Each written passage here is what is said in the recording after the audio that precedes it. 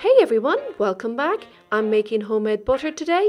Recently I've heard so many people complain about the price of butter, so I've decided to give it a go and show you how easy it is to make and whether it's cost effective to make it.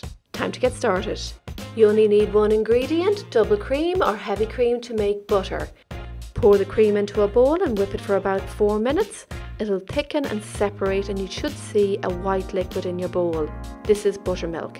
I add ice cold water as this helps to separate the butter from the liquid and you'll see even more buttermilk.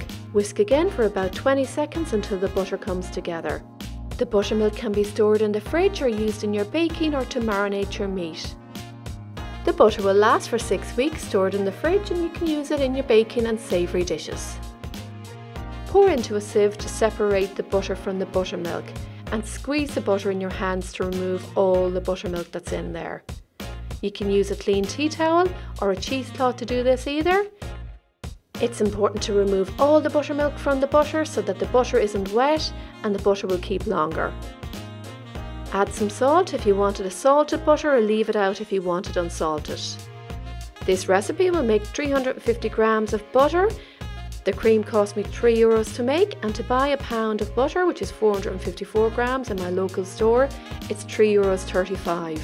So unfortunately, it's not cost effective to make your own butter, but saying that, it's lovely to be able to say that you've made your own homemade butter, even if you just make it once.